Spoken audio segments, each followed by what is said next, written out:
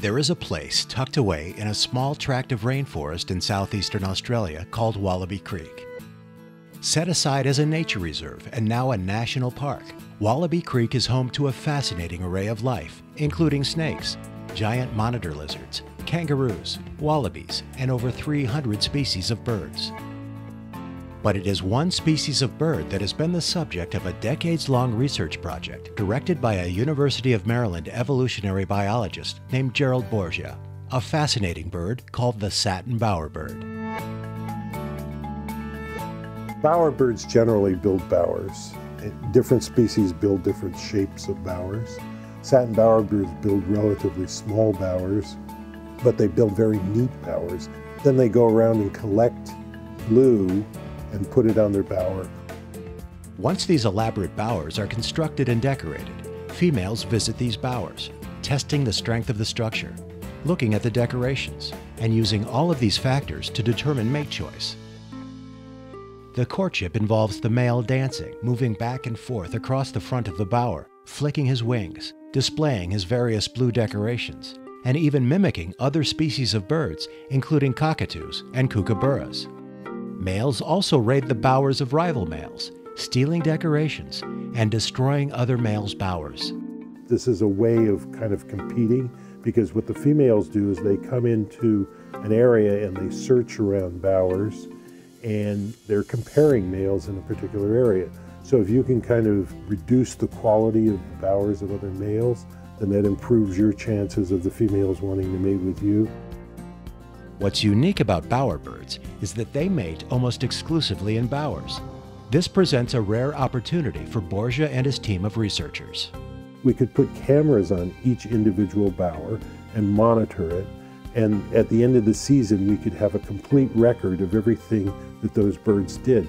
This is unparalleled in any kind of research. Cameras are set up at each bower equipped with infrared sensors, so when the bird comes, the sensor is triggered and the cameras begin recording. A team of Maryland grad students and field assistants hike out into the rainforest twice a day to change the videotapes and check on the unique power supply. The cameras are powered by car batteries, so the assistants have the wonderful task of carrying car batteries up steep hills in the mud to the very distant bowers. In addition to hauling heavy car batteries through the rainforest, field assistants encounter some rather challenging living conditions. The living conditions at Wallaby Creek were a little rough. We'd take baths in the creek. It's pretty rustic. There were snakes living in the house sometimes. Some people just enjoyed it and loved it, and other people found it a little too much. Still, field assistants who can endure the hardships find themselves in the truly wonderful environment of Wallaby Creek.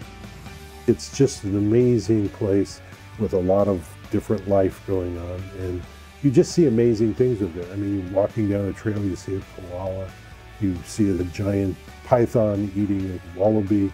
Every day you go out, you see something new. Ultimately, though, it comes back to the research. Borgia's long term study is crucial because of the bird's long lifespan. To understand what their reproductive life is about, you have to follow them year after year. The hypothesis that we're testing is that the part of genetic variation that's most important is to remove deleterious alleles that happen in the genome. What we want to do is sequence the genome of bowerbirds and then look for what are called SNPs. These are deleterious mutations and see if what we think is correct, that the males who are at, the top of the lek, who the females like the best, are the ones with the fewest deleterious mutations.